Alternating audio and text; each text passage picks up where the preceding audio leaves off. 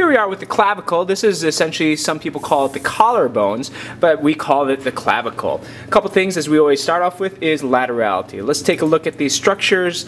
I'm going to use these terms, uh, so please keep in mind these are, you know, relative terms. So let's take a look first, figure out what's medial and lateral. Uh, first one is this side. Uh, if I said use the clavicle as a stamper, you would use one side more than you would use the other side. This side is what we would term the sternal end. So this ball-like or stamper type of, like if I said stamp things, that would be the sternal end. And of course, sternal is towards the medial side. And then the other side, if I said use it like a spoon, like a paddle, uh, you would more likely be using this side than this side. And this is what we call the acromial end. Acromial end, of course, is going to be on the lateral side. And so now we got the medial side and lateral side, and this would be uh, figuring out is this a right or is this a left? So we have to figure out what's anterior and posterior. So we're going to go anterior and posterior. And notice on the acromial side, it bends in one direction.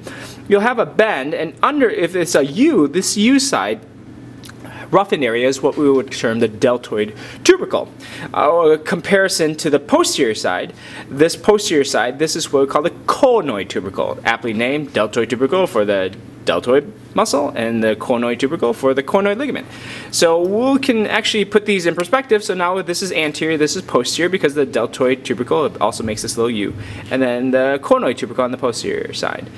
Now we have to figure out what's superior inferior because of course it could be like this or, or like this depending on which perspective you have. And so let's take a look here.